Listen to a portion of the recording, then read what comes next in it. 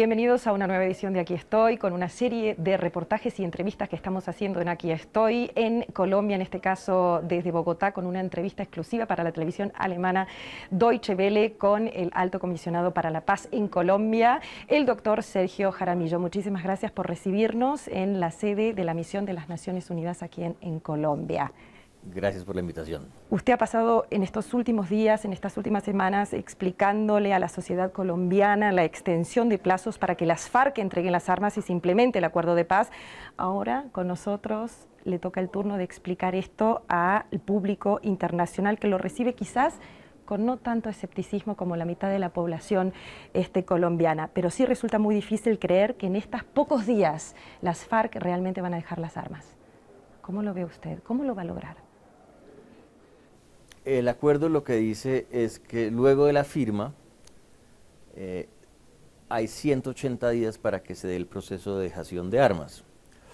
Tuvimos muchas dificultades al inicio, tanto con el ingreso de las FARC a los 26 puntos de concentración o zonas veredales, como les hemos llamado, en lugares realmente remotos del territorio, como en la preparación de esas mismas zonas, en la construcción de campamentos. Entonces hubo un desplazamiento en el tiempo interno lo que estamos haciendo ahora, que francamente no es dramático, es decir, bueno, nos vamos a dar 20 días más para que la totalidad de los hombres de las FARC dejen las armas y vamos a extender el régimen de esas zonas, que es especial, que es un régimen de cese al fuego, durante 60 días más para preparar la transición a lo que va a ser la reincorporación de las FARC a la vida civil. Me pregunto cómo logra usted convencer a las FARC que, dejen las armas eh, con la eh, decisión de la Corte Suprema, la Corte Institucional aquí en Colombia, que no ha mandado una señal de apoyo a las FARC y que están muy preocupados. eso no es cierto. En Colombia tenemos, como en Alemania, una Corte Constitucional, un Tribunal Constitucional muy fuerte. Eh, todas las normas que estamos eh, expidiendo para implementar los acuerdos pasan por un control constitucional y en ese marco la Corte, el Tribunal expidió una opinión eh, cambiando dos elementos de un mecanismo especial que llamamos coloquialmente de fast track para reducir a la mitad los tiempos de los trámites legislativos. Entonces eso le causó mucha preocupación a las FARC porque pensaban que eso podía querer decir que se podían cambiar los acuerdos en el Congreso, etcétera, pero eso no es cierto. No hay ningún constitucionalista serio que piense que eso es así. ¿Y no hay una gran preocupación para el gobierno tampoco? Hay una preocupación política, porque estamos en un año político electoral y hay que mantener las mayorías. Pero jurídicamente hay un blindaje porque las leyes que se expidan bajo este mecanismo tienen que servir el propósito de cumplir con los acuerdos, no los pueden contradecir. Hablemos un segundito sobre las zonas veredales, donde hubo también una extensión, donde usted dijo durante 60 días, casi tres meses más, ¿no? Donde se transformarán estas zonas veredales en centros de capacitación. Usted me está hablando de la implementación de cómo lograr estas zonas veredales, donde ha habido muchísimas dificultades. Me pregunto, ¿cómo va a lograr usted un centro de capacitación? Porque ya está construida la infraestructura. Realmente lo que hemos construido en las zonas es tal vez la infraestructura más ambiciosa que se haya montado en una zona de transición, en un proceso de desarme. No son simples eh, carpas, son edificaciones, casas, eh, con unos espacios amplios para cada miembro de la guerrilla. Y entonces el punto es, hombre, si vamos a hacer algo muy ambicioso, que es poner en marcha un proceso de reincorporación de las FARC a la vida civil en las zonas rurales, distantes, donde es muy difícil proveer servicios, ¿por qué no usamos estas instalaciones como una especie de plataformas para eh, darle la instrucción, la capacitación a las FARC que necesitan en temas agropecuarios, de piscicultura, de medio ambiente, y también a las comunidades aledañas que viven. Entonces, eso es lo que estamos tratando de construir, un modelo de reincorporación basado en las comunidades que aprovecha esa infraestructura para preparar a las FARC, pero también a las comunidades para este proceso. Deme un pequeño ejemplo. ¿Quién va a capacitar y qué tipo de capacitación van a recibir? Te doy un ejemplo concreto. Para transformar al guerrillero en ciudadano. Colombia tiene una institución que tiene mucho prestigio entre nosotros, que se llama el SENA, que tiene además una enorme cobertura territorial. Es tal vez la institución del Estado, junto con la Policía Nacional y las fuerzas militares que tienen la más amplia cobertura territorial. Y está dedicada a hacer algo que es muy conocido en Alemania, que es preparar a la gente para oficios eh, y con diferentes niveles de educación, que no es una educación universitaria. Y entonces esta institución puede montar centros de capacitación en cada una de estas zonas, capacitar a los miembros de la guerrilla, pero por ejemplo, estaba yo reunido recientemente con los presidentes de lo que se llaman las juntas de acción comunal, que son los mecanismos de administración que existen al más bajo nivel entre el campesinado, entre los pequeños agricultores en estas zonas rurales. Entonces me decían, no, es que a nosotros también nos interesa que nos instruyan. Yo quiero pasar a utilizar mejor mis tierras, quiero practicar más la eh, ganadería intensiva, por ejemplo. ¿Qué tengo que hacer? Entonces ahí también se le puede dar instrucción. Ha visitado la mayoría de las zonas veredales, lo hace una vez por semana, casi lo ha dicho, todas. Casi todas. ¿Qué dicen los guerrilleros? ¿Qué quieren hacer en el futuro? ¿Cuál es su pues percepción? Hay una, gran, incertidumbre, como siempre, van a dejar las armas, ¿qué va a ocurrir?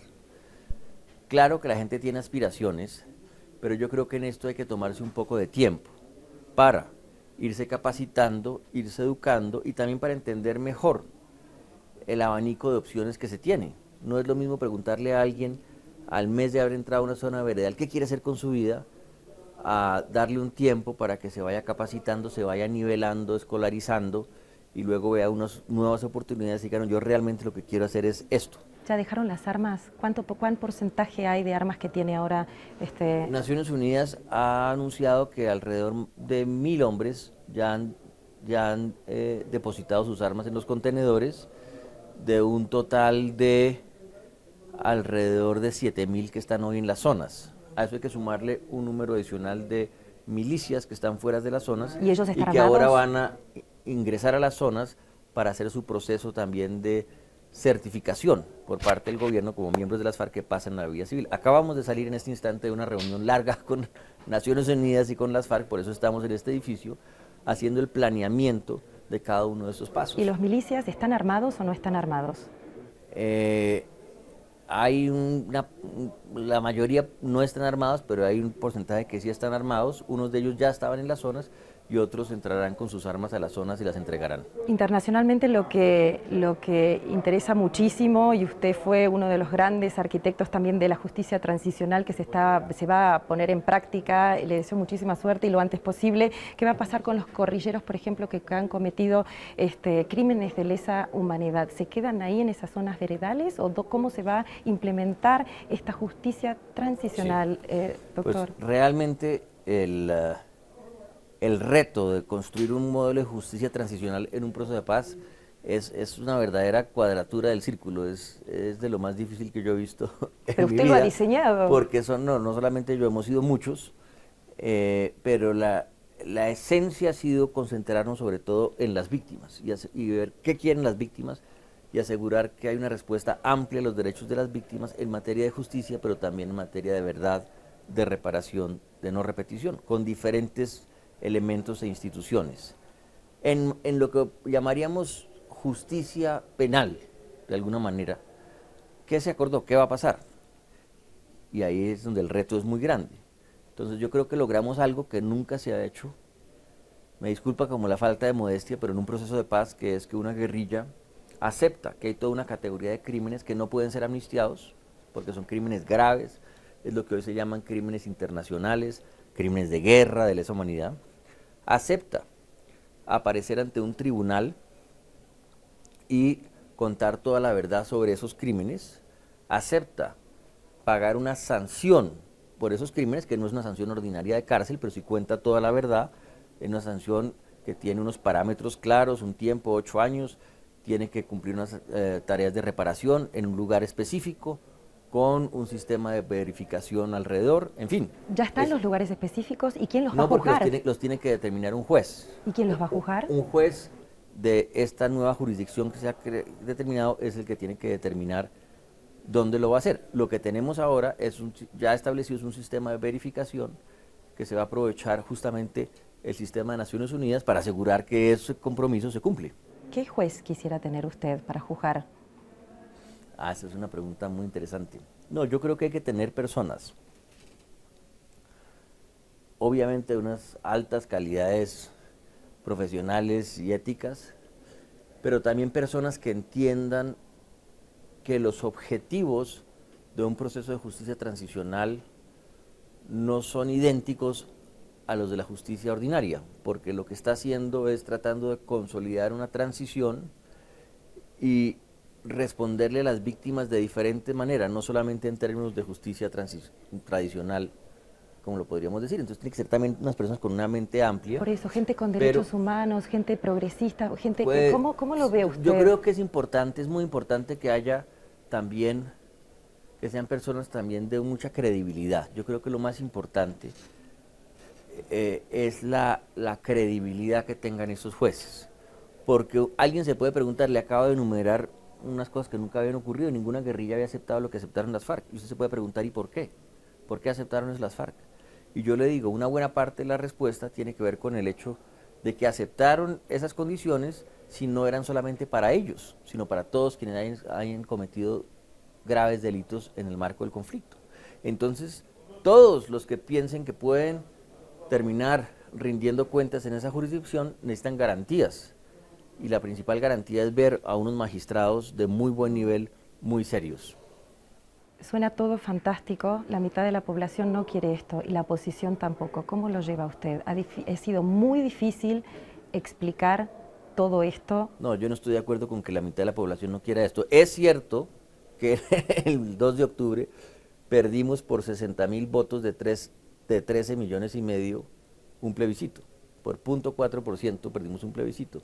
Pero lo que encontramos ahí eh, es que los plebiscitos, como se ha visto en tantas partes del mundo, son muy volátiles y eh, yo, no le, yo no le voy a decir que hoy en día todo el mundo está a favor del proceso, pero creo que en la medida en que avanza la implementación del proceso, si lo que hemos estado hablando en estos días hoy con las FARC avanza también el proceso de desarme, pues la gente yo creo que va, aquellos que estaban en una actitud negativa, van a comenzar cada vez más a a, aceptar la realidad, que es que llegó la paz a Colombia y que es la mejor noticia para toda una generación de colombianos. ¿Usted cree realmente que llegó la paz a Colombia? Por supuesto. Le, le, pregunto esto porque hay una gran preocupación internacional, no solamente dentro de Colombia, sino desde donde nosotros venimos en Europa, Alemania, por el vacío que se está eh, produciendo en las zonas donde estaban este, las FARC, donde bandas criminales parecen haber tomado el poder. ¿Quiénes son y cómo lo está manejando el Estado? Estamos hablando del 40% del territorio colombiano. ¿Correcto? Entonces, déjeme dar un paso atrás. Creo yo que ya quedó la paz, por supuesto, pero es que la paz es algo que hay que construir. La paz es una oportunidad. Si alguien sabe de esto, eh, son los alemanes. Un país absolutamente destruido después de la guerra, llegó la paz. Eso, estar en medio de un Berlín destruido es la paz. Sí es la paz, porque hoy era la oportunidad de reconstruir. El Estado llega a todos lados y no hay bandas criminales. ¿En dónde? ¿En Colombia? En Alemania después de la guerra. Ah, no, pero tiene mil problemas tiene mil problemas, tiene un pasado eh, que no sabe cómo tratar, que se demora por lo menos 15 años empezar a llevar a los tribunales judiciales. Eh, todo tiene su momento. En el caso de Colombia, de manera distinta, pero es similar, es una oportunidad de reconstrucción, que por supuesto aún permanecen los cultivos de coca, las economías ilícitas que han financiado una parte de la violencia, que muchas organizaciones criminales quieren entrar y apoderarse de esto y que eso está ocurriendo, eso es cierto. Esto no va a cambiar de un día para otro, pero es muy distinto, muy distinto tratar de resolver un problema tan complejo como es la economía de la coca, de personas que llevan 20 años sembrando coca para subsistir en medio de la guerra, que en condiciones de paz, con unos acuerdos que están centrados en el desarrollo rural. Doctor Jaramillo, hay eh, patrones que se repiten en El Salvador, en Guatemala, lo hemos visto con las bandas criminales en zonas donde el Estado no puede llegar. ¿Está pasando esto en Colombia? ¿Usted no vio venir esto? No, yo no estoy de acuerdo. Eso no está pasando en Colombia en ese sentido, porque lo que queremos evitar justamente es un reciclaje de la violencia, es decir, que quienes estaban en armas terminen en la criminalidad. ¿Qué es lo que dicen algunos, aunque eso tampoco es tan cierto, que ha ocurrido en El Salvador? Realmente en El Salvador llegaron de los Estados Unidos, en fin, no importa. Aquí lo que tenemos que hacer es asegurar que estos, sobre todo los jóvenes, los miembros guerrilleros rasos de las FARC, pueden recrear sus vidas y tienen una nueva oportunidad. Y por eso es tan importante todo lo que estamos discutiendo en materia Pero sí me da la razón que estas zonas son una gran preocupación para el ah, Estado. Ah, por supuesto, enorme, claro.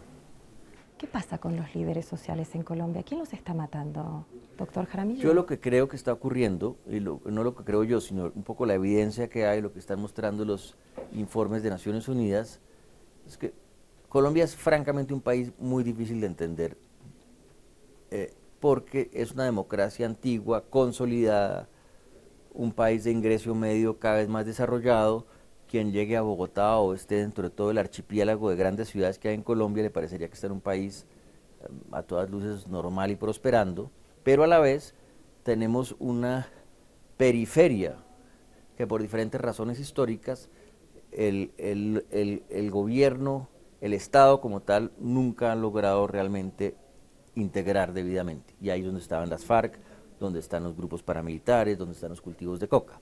¿Qué ha ocurrido? Que con el fin del conflicto y la salida de las FARC hay una especie de estado semianárquico y de transición en esas zonas, con mucha gente con interés en apropiarse diferentes fuentes de financiación ilegal, y en ese marco están ocurriendo esos asesinatos. Me interesa saber cómo es el mecanismo con usted y, por ejemplo, con el resto del gobierno. ¿Usted les avisó que puede llegar a pasar esto? ¿Les avisó a quiénes? al gobierno de Juan Manuel Santos, que prestemos atención. Usted fue viceministro de Defensa. Nosotros, eh, había una conciencia de que iba a haber un problema, por supuesto, que iba a haber un problema. Eh, es cierto, ¿quién lo va a negar? Los gobiernos siempre son lentos en sus respuestas. Las instituciones se toman su tiempo para reaccionar y con frecuencia hasta que no tienen el problema enfrente en las narices no reaccionan suficientemente. Pero una de las grandes ventajas que tenemos es que eh, tenemos unas fuerzas militares y una policía de un gran profesionalismo. ¿Está reaccionando el eh, gobierno ahora? Y que están, están desplegándose, reaccionando, eh, y yo creo que si les damos un poco de tiempo, y le damos un poco de tiempo también a nuestro nuevo vicepresidente, el general Naranjo, que fue estuvo con nosotros en La Habana, pero sobre todo fue el director de la Policía Nacional más exitoso y prestigioso que ha tenido el país, yo creo que se van a elaborar esquemas adecuados de seguridad, pero va a tomar un poco de tiempo, desafortunadamente. Lo veo tranquilo con este tema. No, no estoy tranquilo hoy, pero sí creo que, que, habrá una respuesta adecuada más pronto que tarde. ¿Qué le da más dolor de cabeza, Uribe o la implementación del acuerdo de paz? no, yo soy el expresidente Uribe no voy a decir nada. Es que tenemos un gran problema en Colombia y es que nos coincidió el primer año de implementación del acuerdo, que es siempre en todo proceso de paz un momento de gran fragilidad, incertidumbre, aún más en Colombia, porque hay la tentación para jóvenes que estaban en las filas de la guerrilla de repente quedarse en una organización criminal, etcétera. Y todo eso está ocurriendo justamente cuando comienza la temporada electoral, porque tenemos en menos de un año tenemos ya elecciones al Congreso y a la presidencia. Entonces todo está cruzado en este momento por el debate electoral y eso le hace mucho daño a la paz. Ese es el mayor riesgo para el acuerdo de paz, para la implementación, las elecciones que vienen el año que viene. Doctor Jaramillo, ¿cómo lo ve usted?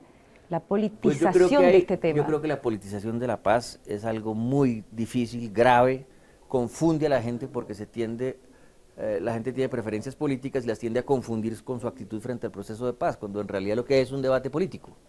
Entonces sí es un riesgo muy grande porque lleva a que la percepción esté desencajada de la realidad, pero es lo que hay, es lo que está pasando, ya no hay nada que hacer. Entonces lo, lo que tenemos que hacer es avanzar más rápido en la implementación, que la gente vea resultados y que los resultados hablen por sí mismos.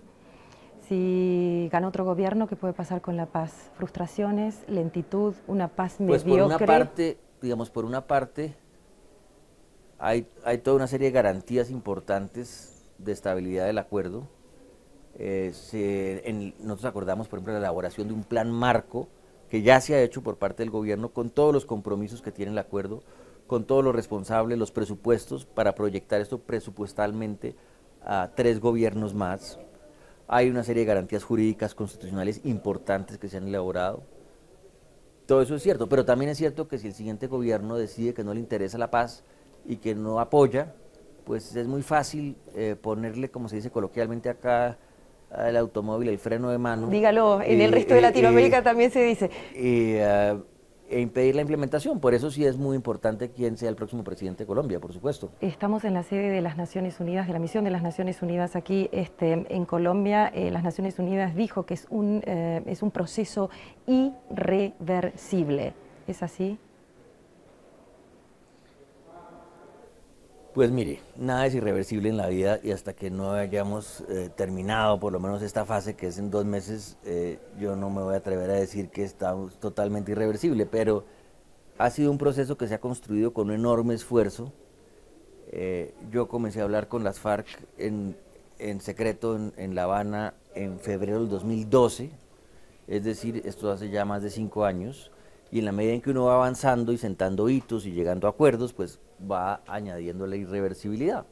Pero este también es un momento de la verdad, es un momento de la verdad en que las FARC tienen que cumplir, tienen que dejar las armas como se acordó, y el gobierno tiene que cumplir dándoles protección, eh, con programas de reincorporación adecuados y por supuesto implementando el resto del acuerdo, porque siempre hemos dicho que la esencia de este proceso ni siquiera son las FARC, sino es atacar esos factores que han mantenido viva la violencia en Colombia tantos años para cerrar esas fuentes de violencia.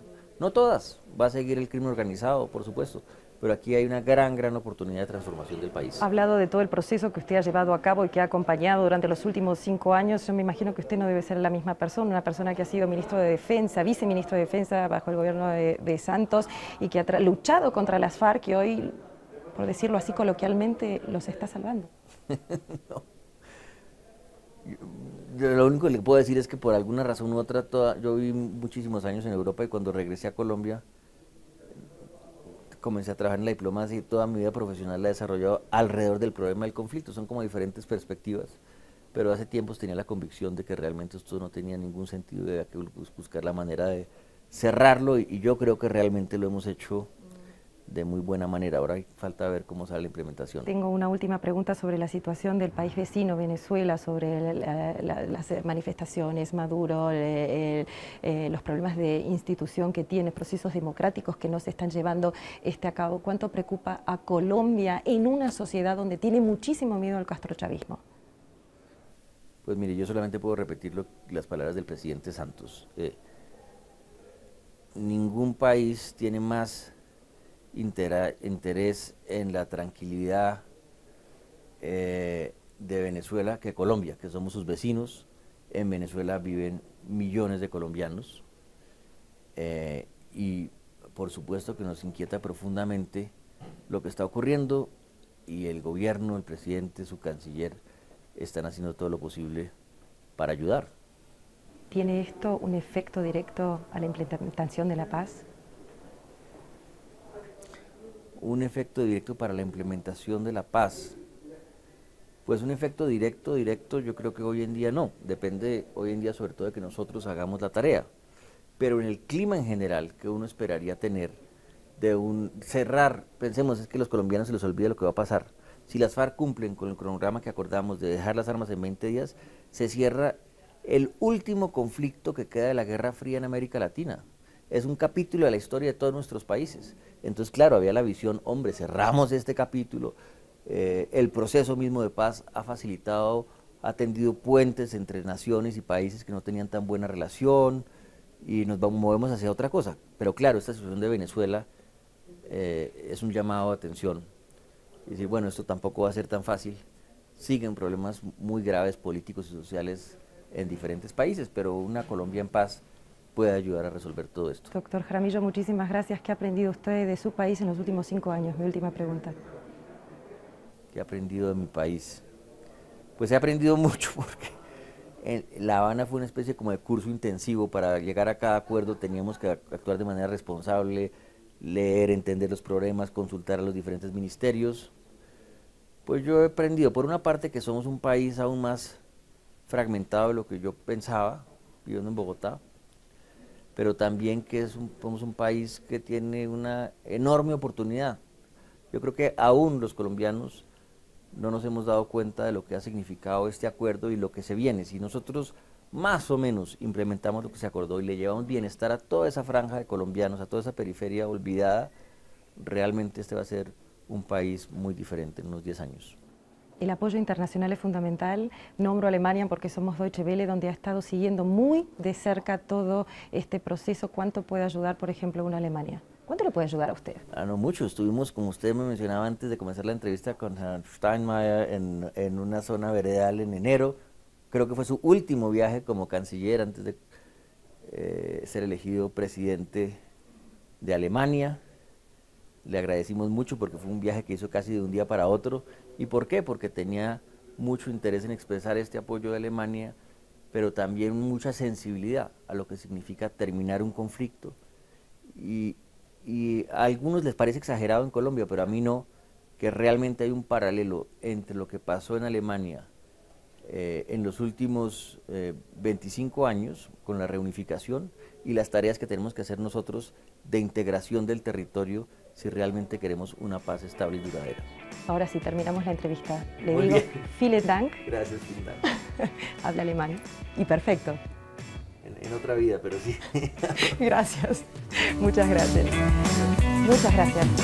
Ha sido de gran ayuda.